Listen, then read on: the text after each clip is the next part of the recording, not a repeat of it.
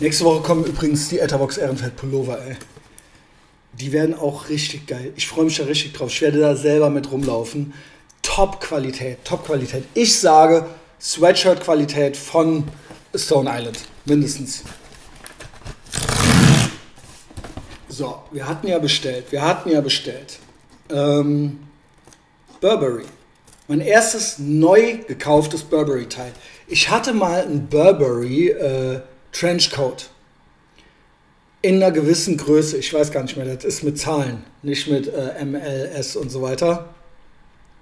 Und ähm, den habe ich gebraucht gekauft für 400 Euro. Dann habe ich den dem Mo, der hier auch irgendwo ist, äh, für einen Fuffi verkauft, weil der dem gut gepasst hat. Dann hat der den verkauft, gewinnbringend, hat er mir eben stolz erzählt und hat seiner Freundin dann was Schönes davon gekauft. Immerhin, immerhin Ehre, hat seine, seinem Girl was gekauft davon, aber was ist das denn? Der sah so gut da drin aus und ich hatte mich gefreut, dass der den genommen hat. Dann verkauft er den. Und dann bindet er mir das noch auf die Nase. So, Burberry. Die Frage ist, ist es zu drüber oder ist es cool, äh, ist es cool? Ist es cool, äh, ultra tätowiert mit Burberry-Sachen durch die Gegend zu laufen? Als wäre man Jizzes. Welche, für, welche, für welches Klientel, welches Klientel spreche ich damit an? Aber es ist auch in your face, es ist auch ein Statement, ne? So sehe ich das ja. Aber ich bin meistens, also eigentlich müssen die Frauen teurer angezogen sein als die Männer, oder? Und das, das äh, genau, und dafür brauchen die Männer halt irgendwie ein Auto oder so alles, was die nicht in Klamotten stecken, stecken die dann ins Auto. Und die Auto, die Frauen, die geben ja nichts aus für Essen, Trinken und so weiter. Und das können die dann in Klamotten stecken. So ist es ja eigentlich. Aber das hier ist halt der ultimative Flex. Und noch drei Kinder. Burberry und drei Kinder. Hatten wir ja mit Frank Lukas. Hatten wir ja mit Frank Lukas. Boah, boah, geht schon los, geht schon los, geht schon los. London, England. Witzig, auch noch witziger Fun Fact. Äh, Jana und Big Mike waren ja noch, wir waren ja noch lange hier zugange und haben noch weiter gepodcastet, ohne aufzunehmen. Und das war so lustig am Freitag noch, das war so lustig. Bis 11, 12 Uhr waren die noch hier. Und dann haben wir, weil ich habe bei Burberry, Burberry bestellt und dann hat der Typ, der Manager, hat mir eine E-Mail geschrieben. Also, oder der äh, Sales Manager, keine Ahnung, irgend so ein Typ. Warte, ich gucke jetzt mal gerade nach. Ich gucke mal gerade nach. Das ist ja eigentlich alles viel besser als Nachrichten, oder? Konsum. Äh, Gmail. Ich habe es über Gmail, weil ich habe es ja privat, privat bestellt. Der Typ hieß, der Typ hieß Customer Service, ihre Bestellung wurde versandt. Darren DiGiorgio, Customer Service Director. Und dann haben wir den gefunden bei Boomerbook und dann habe ich dem eine Freundschaftsanfrage geschickt und dann haben wir noch die ganzen Bilder von denen geguckt bei, ähm, bei Instagram und wir haben uns kaputt gelacht. Wir wollen jetzt, äh, dass ich eine Freundschaft mit dem Darren DiGiorgio, dem, dem ähm, äh, hier, was weiß ich, wie heißt er? Wie, wie heißt er? Customer Service Director von Burberry anfange und den dann so frage, so, ob der Prozente kriegt oder sowas. Ähm, ein Burberry-Teil für Statement? Nee, das ist kein Statement. Also, ich brauche was kurzärmliches, was langärmliches, was kurzhosiges und eine Jacke. Das ist ein Statement. Das ist ein Statement. Ich brauche vier Burberry-Teile. Und eigentlich noch ein, und ein Accessoire. Fünf Burberry-Teile. So. Das ist ja hier allein schon der Karton. Allein schon der Karton. Ne? Dann geht's weiter. Dann geht's weiter. Oh la la. Ob das wohl gut fürs Klima ist, so viel Papier zu verschwenden? Jetzt habe ich hier so, das, ah, das sind die Rücksendeetiketten. Das wären dann die Rücksendeetiketten. Das hatte ich bei Stone Island genauso fein, äh, genauso fein gehabt. Euro 390. Wie gesagt, inklusive Expressversand aus, außerhalb der EU. Mit Zoll und allem. Alles schon abgewickelt. Wie gesagt, ey. Stone Island. Äh, nehmt euch mal ein Beispiel. Nehmt euch mal ein Beispiel. Ja, Barbourjacke kann man ja so. Das kann man ja so nebenbei mal machen. Das ist ja kein Problem. Barbour. Barber heißt das, glaube ich. Barber. So, und jetzt geht es hier weiter. Ja, ja, Junge. Also klamottenmäßig muss man schon sagen, Engländer weit vor Deutschen.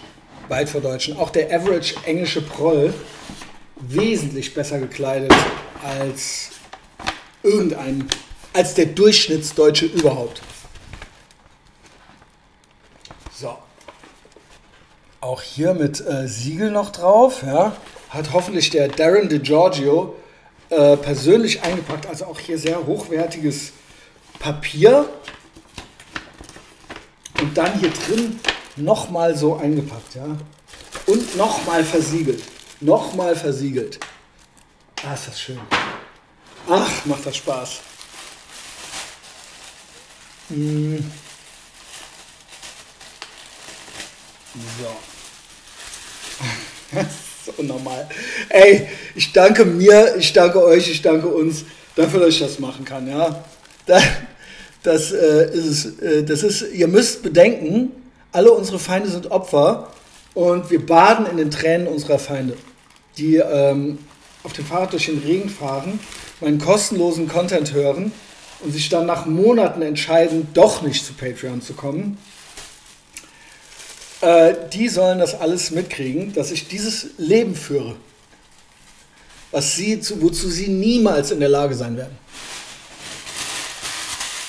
Ja, es ist ja ein Geben und Nehmen. Wir haben das ja gemeinsam geschafft. Ja. Ihr kriegt ja auch was dafür, aber ähm, ohne euch geht es ja auch nicht. Ne? Ich habe euch überzeugt. Ich habe euch überzeugt. Und äh, ihr sorgt dafür, dass ich nie wieder mit Normis zusammenarbeiten muss. Und dafür äh, bin ich immer für euch da. So, genau. Größe M. Ich habe keine Ahnung, ob das passt oder nicht, muss aber. M passt eigentlich immer. So, hier sind ja wahrscheinlich noch Knöpfchen drin und so weiter. Organic Cotton. Das fühl, ich muss sagen, wirklich, kein Witz. Es ist wirklich kein Witz. Es fühlt sich ultra krass an. Es fühlt sich original noch besser an. Kann man das sehen, wie das hier gewebt ist? Nee, kann man nicht kann man irgendwie nicht sehen. Äh, es hat hier, der Kragen hat auch noch so eine Gravur. Man kann es nicht sehen. Man kann es nicht sehen. Der Kragen hier hat hier noch eine Gravur. Also ähm, so, so eine, äh, ja, so ein Pfeilmuster. Und hier am Ärmel auch. Man kann das original nicht sehen. Kann man das ein bisschen erahnen? Und es fühlt sich wirklich, mal, alle sagen das dann immer, ja, die Qualität und noch besser und noch kranker. Es fühlt sich original besser an als das Stone Island Polo. Dicker, irgendwie wertiger, keine Ahnung. Ja, hier ist natürlich noch das Knöpfchen drin. Und jetzt kommt der eigentliche Gag. Meiner Meinung nach der eigentliche Gag. Der eigentliche Gag. Das ist es nämlich. Der Flex. Das ist jetzt der Flex. Wenn ich damit äh, durch Ehrenfeld schlendere, das ist der Flex.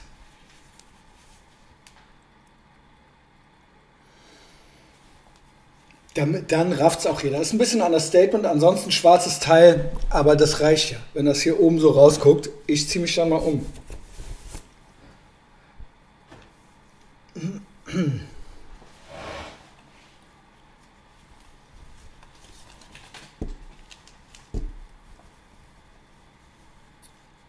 England und Italien.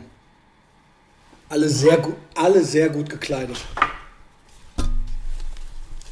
Viel, viel besser als der Average Allmann. Logischerweise. Aber in Italien, da kommt das halt her. Also Burberry ist natürlich äh, nicht aus Italien. Aber aus Italien kommt sehr viel her. Italiener auch sehr gut gekleidet. Aber äh, auch die norm äh, normalen, äh, keine Ahnung, normalen, wie kriege ich das jetzt hier auf? Auch die normalen Leute, sage ich mal.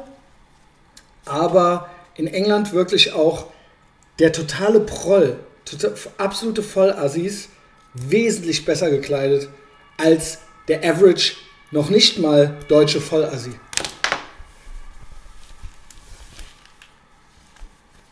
So. Und es passt. Wow, holy shit. Sweet Baby Jesus. Ich damit wohl gleich äh, flanieren gehe. Ja, also wie gesagt, äh, danke. Ich danke euch. Ich danke uns. Ich danke mir dafür. geil, geil. Das ist es doch, oder? Das ist es doch, oder, Markus? Das ist doch irgendwie, das ist doch irgendwie der Gag hier so ein bisschen. Ja. Ansonsten, jo, ich fühle mich gut. Ich scheiß auf Berlin. Es ist cool, oder? Es ist cool. Es sieht wirklich cool aus. Ob ich damit wohl zum Drangsal-Konzert gehe am Samstag? Erstmal nochmal eine Monsterdose aufmachen. Ähm, nicht dafür, nicht dafür. alles gut, alles gut. Sitzt wirklich. Ne, ich finde, es ist okay. Ich finde, das wird jetzt mein neuer Style. Das wird jetzt mein neuer Style. Ich kaufe mir jetzt jeden Monat, jeden Monat kaufe ich mir ein neues Burberry-Teil statt Krypto. Statt Krypto. Ein Burberry-Teil im Monat ist drin. Und ich tue das für uns. Und ihr wisst es. Und ihr müsst bedenken, ihr seid der Wind in den Segeln des Piratenschiffs, aber das Piratenschiff ist auch eine Gang. Ist auch eine Crew, es ist auch ein Statement. Ich werde auch mit meinem eigenen Merch durch die Gegend laufen, wenn dann die Pullover kommen. Und ähm, wenn ich so hier durch die Gegend laufe, dann ist das gut für uns alle. Also ich, äh, das ist einfach Fakt. Wenn äh, unsere Feinde äh, dann anfangen zu weinen, ich habe es eben schon mal gesagt, das ist einfach, äh, das ist einfach glorreich, dass die nicht klar darauf kommen, dass bei uns so läuft. Das ist in your face. In, the, in, in your face, Feinde der Freiheit. So, weiter geht's. Ich lieb's. living the life. I'm living the life. Ähm, nee, ich wollte so ein, ich wollte so ein äh, Karo. Ich, sollen wir mal gucken? Sollen wir mal gucken? Sollen wir mal gucken? Äh, warte. Ich wollte, äh, warte. Ich wollte als nächstes Original, die haben auch nie richtig Sale. Äh, die haben, warte, hier hatte ich geguckt. Ich wollte, ich wollte, den finde ich geil. 790 ist mir ein Tick, also was heißt zu teuer? Was heißt zu teuer? Es gibt den, aber es gibt noch einen günstigeren, den ich eigentlich genauso gut, wenn nicht noch besser finde. Das hier finde ich auch nicht schlecht. Hier äh, rechts. Ähm, ich wollte den hier kaufen. Ich wollte den hier kaufen nächsten Monat. Jo. Ja. Also, hier sieht man es auch, äh, People of Color wie ich können es gut äh, tragen. So, das nur so als kleiner Teaser für nächsten Monat, ja. Also, läuft bei uns.